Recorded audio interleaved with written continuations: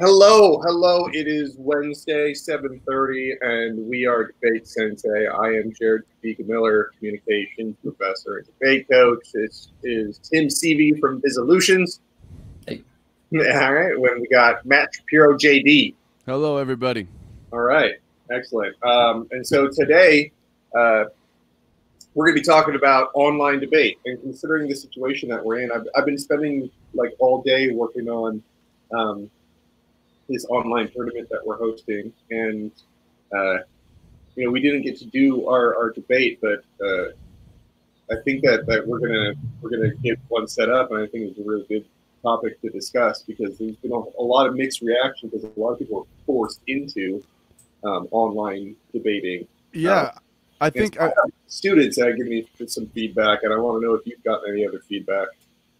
there, I think you know we can almost separate it into like I, I wrote down a couple things for today, and like they're kind of grouped between you know the unique situation that this you know pandemic presents and the you know uses for online debate in that context, and then the second would just be you know what wh- where does online debate fit you know if anywhere in regular you know as we knew it the world before uh, uh, in that context. So i think hopefully today we'll kind of explore both of those things. What do you think tim I think under weird circumstances, right, when we're pressured into this, like there are no tournaments, there are no in-person practices, there is no possibility that you can all get in a room to do the thing. I think that it's been pretty impressive how the entire country has adapted. Like there are East Coast, West Coast, Midwest nationals, like tournaments happening all over left and right. It seems to be that most of them are synchronous, right? Like they're happening with live debate. And there are some major obstacles that come into that that maybe we can talk about. But I've been pretty impressed by just how resilient, I guess, the community is in their ability to just pick stuff up. And there's some new challenges, right? So this past weekend uh, was the cool off, at least uh, in Southern California. And the cool off is this like staple tournament. I don't know, it's probably its 30th plus year at this point. Uh, that's for new debaters. But you still end up with this issue of speed once people start getting you know quicker as as debate goes. And when you have a, a live streamed you know communication back and forth microphones can only pick up so much so fast and video only picks up so much so fast. And there's a, a much lower ceiling at that point to how fast debaters can go. Yeah, I um, uh, there's that's one of the reasons we weren't able to get the, the the asynchronous tournament out because it was just like the the timeline that you needed. I, I just thought it'd been a little bit much, but it's looking like we're gonna have limited sort of contact even next year. You know, and yeah so I think that that next year would be a good time for an asynchronous uh, tournament. Now, there's been a bunch of synchronous. I did um, uh, climb the mountain with uh, Jim Hanson up in uh, Washington, and that seemed to go well. Um, my, my students did that, and one of my coaches, and uh, they did pretty well in that one. But uh, one of the one of the pieces of feedback I got from my students was that um, you know there there's still a pretty good disparity between the, the the service that people get for their internet. yes And Right. so really kind of like when you're doing synchronous, like as far as synchronous um, uh, tournaments go, they're like that we're not there yet, and so that's why one of the reasons I like the asynchronous stuff a whole lot. You know, Yeah, I, I, I want to always take these opportunities to kind of talk about uh, what Jared is discussing for any of you who might not know exactly what we mean when we say asynchronous or synchronous uh, at this point. So, a synchronous tournament, um, we, we are talking about an online synchronous debate tournament. We're talking about one that you would imagine that would follow the exact same format uh, of a traditional, you know, in-person at a school debate tournament, and uh, with the challenges which that create, and and the biggest challenge that we're talking about is the disparity in internet connection specifically. And what happens is, you know, even as we have this live stream right now, we're all depending on each other's internet access. Uh, and and- it's always worked. We've we've we've had people drop out in the middle of these things. Yeah. before. Exactly. And so and so these types of, you know, complete technical failures are are they really hinder the debate, right? I mean, that's just not something that happens generally. So when we talk about asynchronous tournaments, one we're planning on having and and, and uh, what we're hoping to cultivate in the community generally is a tournament where you do end up recording videos, uh, but you record them directly to a, a phone or a, or a computer with no need for the internet up, uh, except to upload files. And uh, asynchronous means that it's not the same time, and so so it's not like I am presenting straight to Jared or Tim, and they're going to refute it in that immediate second. There is actually days that can go by between Yeah. my speech being Yeah. uploaded. They watch it. They can actually develop a response much more. Uh, you know, you know. Uh, they can refute arguments directly if they choose to do extra research in that time Yeah. and and present a uploaded file which is uninterrupted uh, you know uh, that is the key difference and so as far as the internet technical problem how does that solve that problem that's the kind of why we're trying to foster that uh, in this community it's not really a thing just yet but hopefully Yeah. we can kind of pull it together right Yeah, I, I mean, like the, we just didn't really have quite the runway, and I didn't want like to to I don't know, my, my plate was full. don't want to know? force it yeah we don't want to mess Yeah, it you up know what I mean? Like I just, but the the, the really Well, I awesome mean- thing about asynchronous tournaments is that like the stages that they go in, right? Yeah. The best thing to do is, is that you go in in different stages, and so like uh, week one would just be the affirmative stage. If everyone has the same topic, they they submit like three affirmatives, and that gets paired up with somebody else, and they they watch it, and then we move on to the cross examination phase. yeah where everyone is you know doing cross examination. So it you're- also allows for like higher quality video like like you're Oh, able sure, to yeah. kind of you can record a, a a much better video without the need for streaming. Even this service StreamYard kind of reduces our uh, resolution to a certain amount right? Like with you if you have access to just any recording software uh, you likely can record a much higher quality video. So there are perks to the asynchronous uh, style if we can you know get it down and, and do it right. Um, these are technical things you know what i mean go, go ahead tim I think the biggest advantage to asynchronous is the lack of communication apprehension. So just removing from the picture entirely the anxiety that comes with someone just gave a speech, I was rapidly taking notes and planning my rebuttals, and now I've got to speak. I think that's a really big bar to cover or to, to clear for new debaters. yeah I mean, even people that have been doing it for a while can find a huge advantage in like functionally infinite prep time. Like the fact that you can go real deep and get every, you know, answer well cleaned out, like every speech can be economical in how you set it up because you've got time to write a really, you know, well put together speech and It should- research well put together. hopefully it raises that bar It too really goes up. So yeah, it's difficult because it takes much longer, obviously. But I think that it really brings another level of quality to a round. Agreed. Yeah, and hopefully it raises the bar. Like if Yeah. you have that extra time, then you know you sh- the the bar is higher. You know what I mean? Uh, I, I was gonna say, you know, like one thing you know that kind of transcends you know the pandemic context that I kind of wanted to bring up at some point. I'll just do it now. You know, in the future, you know, uh, in a world where like you could record uh, at your school, for instance, right? Like maybe even sitting next to a partner, like you two could be in a room together. Uh, one thing I noticed that a lot of people kind of have a hard time with, which uh, you know is like the background. Like, where are you in these in these contexts? Right? You put a suit on and in your kitchen, and you see your cat walking around. Like, it's it's it's it's cool first of all, and and right now because it gives us some alternative. Like I, at that point, it's like I'd rather that. I mean, how what's the what's the formality of a classroom anyway? It's as good a place as anywhere, right?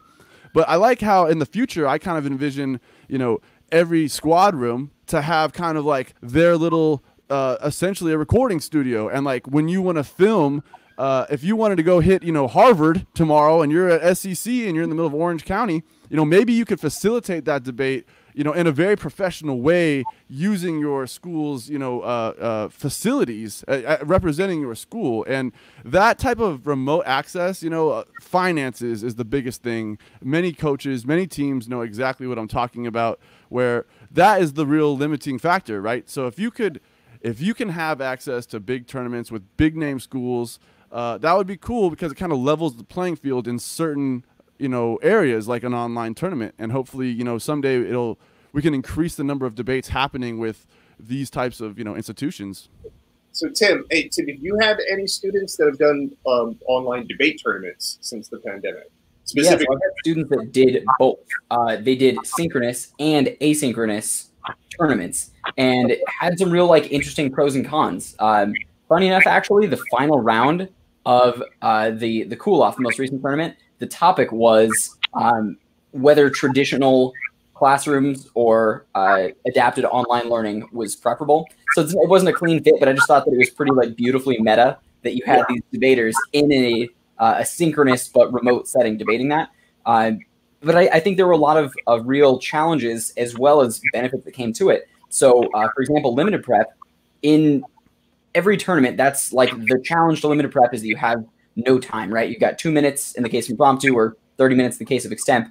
But as soon as, for our tournament at least, someone gets 24 hours, the number of people willing to come to the plate increased. And at least from what I mean, everything that we've seen in the back end of the tournament, I think the quality was better too because you got several takes at it. So there just are fewer flubs. You can really plan out your points. And I know that that's not the point. Like there is still absolutely value to a real off the cuff speech. But I think that it's really interesting the new value that's added to an asynchronous model that way.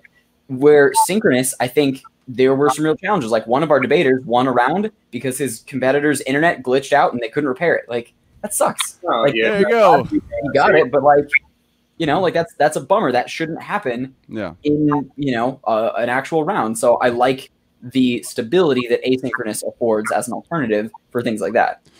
Uh, if I want to jump in right here, I mean, one thing I want to make very clear, I know all of us agree on, is like we none of us think that an online debate will ever you know usurp uh, uh, debate, right? Like no one's saying that this is the way, the only way it should be, No. uh, and it's really more of like do you want to look at some uh, developing some of these other skills as well? And like i'm of the opinion where like we should encourage all sorts of learning and even if it's not exactly what you kind of thought debate was like don't don't get turned off to the idea that this is kind of something we adopt into our into our community. Not dominate just like as soon as we can get back to you know business as usual we're going to be back at schools competing. But but uh, this the, this format I do, I do believe develops skills in students that transcend debate. I mean, in law right now, for instance, you know, long before the coronavirus, there were already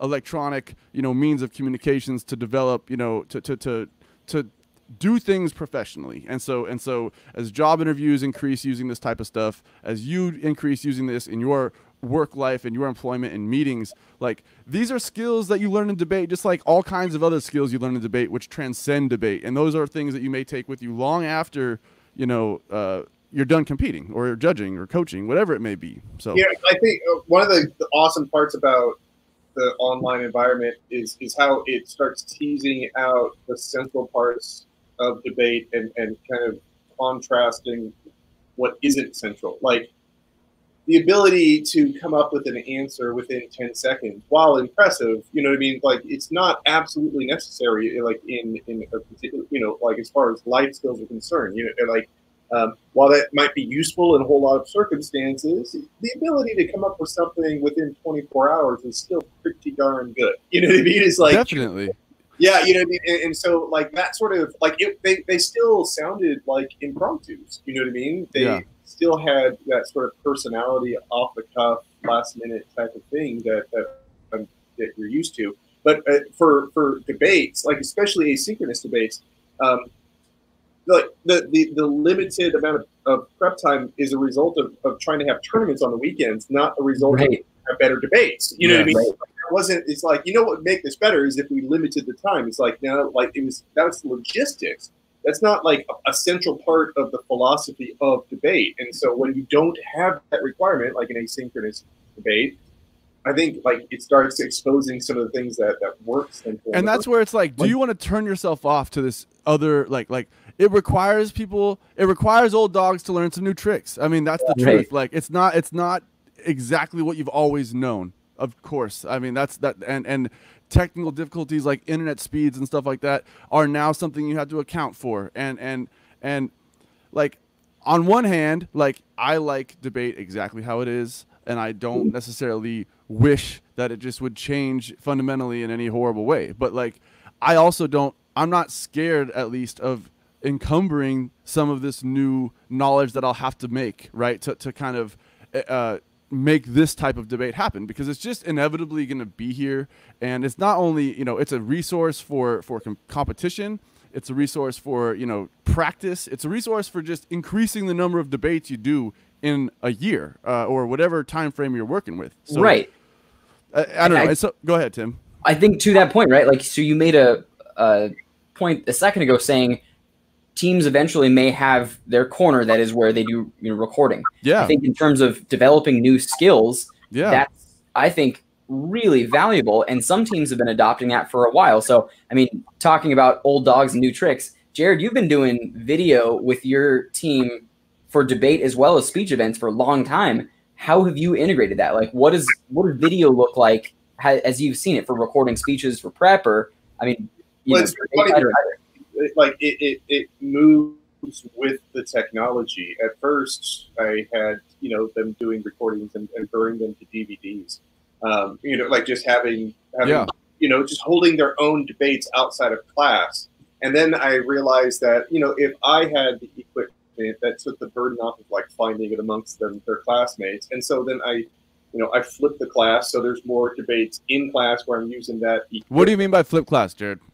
Like where they, the the debates the class time is for homework which are your debates whereas at home is, is time for your lectures which is what you traditionally do in class so we have a bunch of um, lectures that are recorded that are in a classroom format um, and it's like basically like a, a video textbook um, for Sure. students. And Um, in class, they are debating in separate rooms with the cameras, so you can kind of judge all of them at once. Right, and they, they, they just they produce files and, and, and upload them to YouTube and submit those links for for their assignments. Um, See, I think in a post-corona world, I think that that can be a much bigger standard. Like everyone had to figure out, just you know, do or die, had to figure out online education right now. Every class that's functioning had to figure this out, and so many more teachers now are being asked to record their lectures so that there can be a flipped classroom. I think the demand has been there for a long time, but there hasn't been enough of a push to do it. So I think that with this new demand, of, as more teams come to see it viable, I could see that being a really useful piece of the puzzle. I mean, even just the value of recording a speech and seeing it back, like it's better than you know all the teams that have mirrors in their room, so the students like interpreters can get practice their character pops. Like if you can see your entire speech start to finish, how tremendously valuable. And I think, as you were saying before, like the bar to entry just becomes equipment. I got my setup pretty cheap. I don't know about you guys. Like, I know that the costs are going down to make this stuff realistic. Like, you can do this with a webcam and like headphone mics and some lights. Yeah, the entry, like cost of entry is pretty low, like, but there is a, a fairly big difference in quality as long as like we are very aware of that. You know what I mean? I think being conscious and, and talking about know difference in quality um, and how that might influence people is something that you just got to confront. But uh, uh, on the other hand, it it, gain, it gives access to people that don't have access. Sure. Uh, in particular, They got can't travel, right? Like, they just don't have the budget to travel to tournaments. but more than that, like we got people with disabilities, um, and uh, people who are uh, trying to get like get out of prison. Um, Yeah. get- There's a million reasons why someone can't make it somewhere. I mean, yeah, Yeah. yeah. And so, like it, I think I think if we think in more in terms of how online debate serves um, an audience, uh, and, and some of those audience members aren't served by debate right now, then like I, I think it's a it's a very positive thing. You know, um, it's not a replacement at all. it's not a replacement and, and, and, you know something that you know we're, we're kind of something i was thinking about you know i'm very idealistic like the rest of us out here um, one thing that's really cool is like there's even a possibility where if schools really kind of got into like developing a little space for their team to compete there could be some like interdisciplinary you know uh, uh, help here. Like you know there are there are uh, journalism and you know photography departments. There are all sorts of departments on campus that are like experts at this so I you didn't know even think about that. Yeah, that's a if- great idea. if there's ways to like facilitate uh, interdisciplinary you know you, you know classroom assignments where you have debaters debating and you have photographers shooting video with good cameras like there are just ways to kind of develop this skill of you know on camera either speeches or debates or just any sort of you know it, it's a different feel it's a different feel than in a room with a judge or full of an audience you know Sure. but but nonetheless, you know, if, if hundreds of people are watching, or if you're at a you know a big tournament someday in the future, it, it doesn't change the fact that like you want to look professional. You want to look the same reason why we wear a suit is the same reason why you try to get your video to look as good as you can and for your audio to sound as good as you can. Like you're trying to present yourself in this way. And Jared, you know, we're talking about you know one very important thing is a good win a debater who's got the merits down it shouldn't matter how their camera looks right? That we're, we're Yeah, we agree that sure. like the winner should win. But but there is an aspect of this kind of communication where people are looking at you and people are seeing what the screen shows. So where you know post corona when we're not all necessarily working off of our phones you know that type of stuff may be you know honestly fa- factored into a even round and like should maybe be looked at as part of the performance just like a suit or something like that Well, I wanted to transition this into a little bit more into the philosophical or Sure. realm, um, where, like, I think with all the advancements in technology, it, a lot of people assume that we should always go faster, and I kind of have a different opinion. what do you mean by go faster? I don't mean i don't that, that, that, that we should that that production should speed up that um, you know content like content production should just you know, just exponentially increase um, that we should be more efficient workers and stuff like that. And i think that like with our better technology we should get the reward of slowing down a little Yeah. bit you know what i mean it's like reward ourselves by like like indulging in a little bit of extra time to prepare i mean the difference between like four minutes of prep time and 24 hours or four days. yeah I mean, like a week Like yeah I like the idea, like because the uh, going back to what I was talking about about how like it, it challenges some of the central tenets of, of debate. A lot of people win by doing trickery, right? Yeah. Things, yeah you know what I mean? And it's like if you had 24 hours to look at it and talk to somebody about it and get some advice and everything like that, it wouldn't be all that impressive. and every every debater has walked out of a round and three to ten minutes later been like, oh, I should have said this. Yeah, you know what I mean? right. And I, I think you know, Jared. Like, I don't think necessarily think it's a dichotomy, right? I don't think you can either do one or the other. I don't think one is right or the other. I think you know what we're really talking about is developing different skills. You know, like like yes, a, a debater we want them to be in a conventional sense quick, uh, right off the uh, right off the cuff, live in the flesh. You know, in that second to develop a response. Uh, but what we're kind of talking about is it, it's also good. It's also good to like have this other style where you time is not necessarily the factor. The factor is your creative mindset and your process and your work ethic into listening to what someone said and developing the best case you can against it. It reminds me. I, I don't mean to hog the time, but I just want to. It reminds me of like how in LD or policy, how when you have year long uh, uh, debates, you know, your your case kind of changes and your responses kind of change because you get attuned to what people say. Now, this is like a hyper sped up version of that, where like you kind of go into a round with your idea of what you want to do, but it may be to where in the in the days between uh, rounds, uh, uh, eh, sorry, in the days between speeches, you may go research a bunch of stuff and develop a bunch of disads you didn't res- you didn't necessarily know about until after you know they for the first speech was read, and like it, it, it's it's interesting to just kind of allow uh, super in depth response because you're right, Jared, that sometimes it's all about just kind of getting someone off their guard and having kind of someone have an emotional response to where they can't respond very well all of a sudden, and like. This does remove that. This is like gonna let you record three or four times if you wanted to to get your perfect speech out for the other team now to to, to, to have to deal with.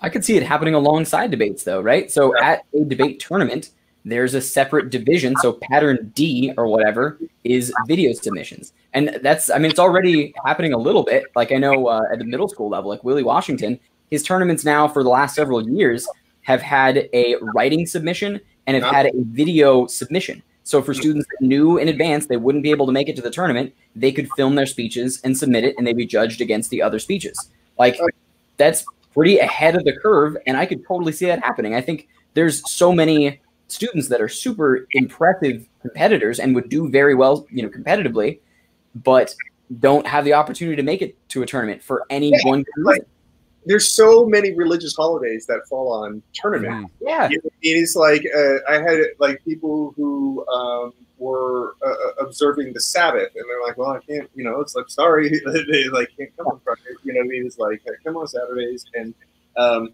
the uh, the so the flexibility, like that that that flexibility, I think, fits uh, the sort of like multiple human sort of, of pro- lifestyles. You know what I mean? Yeah. And Yeah.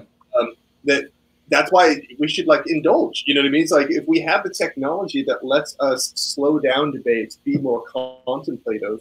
You know what I mean? Like you know, like reshoot them several times to work on the delivery. I think Yeah. that's a good thing, man. I think we should. Yeah, I, I, I definitely want to cultivate that. It's a good thing, just like off the cuff responding is a good thing. Like Yeah. they're they're, they're both good. It's not it's Well, not like- one. like in chess in chess there's speed chess right where you have to do it within a certain time limit right Yeah. and there's this there's open-ended and and so this is almost like open-ended you still have to have some sort of deadline because it's a different thing but Yep. you know that that's why an asynchronous tournament will take anywhere between like five and nine weeks Yeah. to do you know what i mean and and so and, and you just got to constantly have people on you know on a schedule and moving them through and have uh, you know, backup plans for people drop out halfway through, what you do, stuff like that.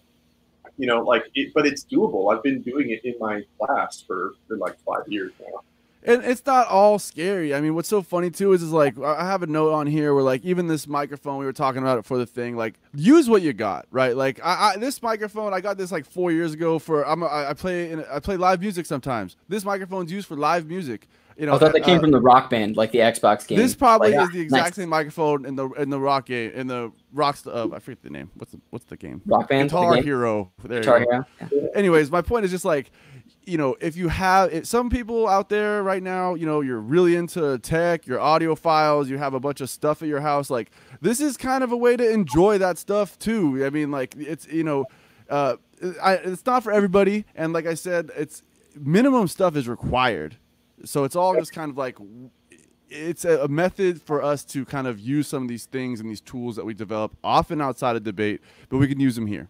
And like that, these philos- philosophical discussions, like Jared's talking about, you know, they are good discussions, and we should always flesh out the best way to handle things and ha- the best way to accomplish the goals we set out. You know, but but don't be scared that like we're trying to to usurp debate. Like that's not the that's not not the goal here, and it's it's only a way to kind of uh, do more debates, which is what you know so many of us who like to compete and judge and coach. You know, that's the goal is to get, get as many of these in as we can. I'm interested in seeing the like the level of artistry in debate, sort of what it, what asynchronous debate can do for that.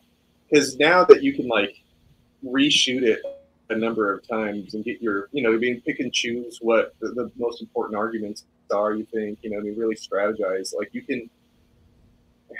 The, the, You- need, you can- to, the need to speed, the need to, to, to, to talk really fast. I hope, like I, I might be wrong, but goes down.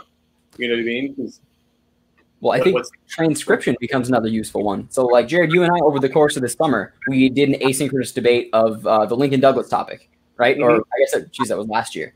And the ability to transcribe a speech that comes into you, so you have a literal word for word document, like flowing, that is a core element of debate right now. Fundamentally shifts when you get a word for word transcript of what the other person said. It's not like misinterpretation or I meant to say or whatever. Like, no, these are the hard words that were said, and now you can use those to label the arguments. You can pick out with a fine tooth comb any fallacies, any gaps in the argument, any lack of warrant, and then you can you know go nuts on that. So I think the the downside to it is that it could make debate even more consuming than it is. Like Yeah. think when debaters get into it, They also have math class. They also have you know, science. Like Yeah. they're really spend some time on it. Yeah. And now it's like, well, hey, I've I've got you know a week's worth of research that's going to go into this baller speech and like three days of, of production and post to make this thing like super polished. I don't think that's going to be the case right out the gate, but like interesting. I wonder if that's like where it would end up getting to where students are Tim, spending. I'll tell you the truth. Uh, debate, forensics community in general, like it takes a certain type of student to sign up for this. And Yeah. I mean, you sat the amount of you know GPA or you know units you get never equate to how much time you put in, and whatever sacrifices you choose to make is really on the student and the coach to kind of some sort of you know you know oversight, but.